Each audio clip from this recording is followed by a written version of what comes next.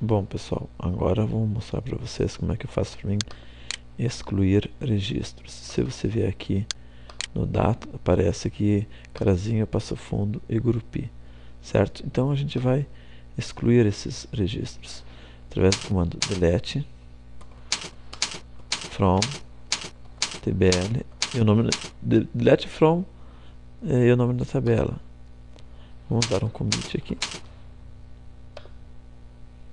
confirmar nossa ação. E agora vamos entrar aqui na tabela de cidade. Pode ver que não tem mais nada. Então esse é o procedimento para excluir registros. Obrigado.